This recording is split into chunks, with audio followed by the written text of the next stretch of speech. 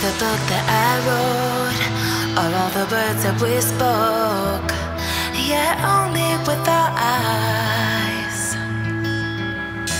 Now is the time to choose. Somebody wins and some lose.